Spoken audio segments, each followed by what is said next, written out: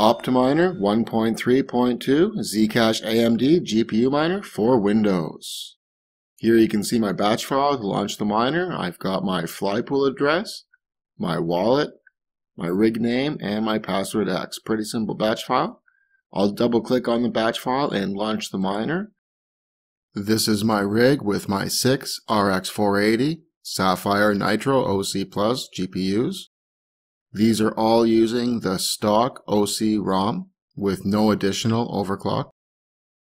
And you can see that it's just slightly slower than Claymore version 10 or version 11, hashing around 240 to 250 solutions per second, where Claymore was getting more or less around 260 with these same cards.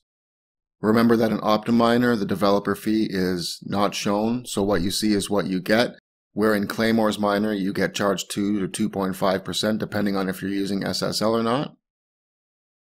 However, the Optiminer Linux version is faster than Claymore version 10 or 11. It's about 20 solutions per second faster.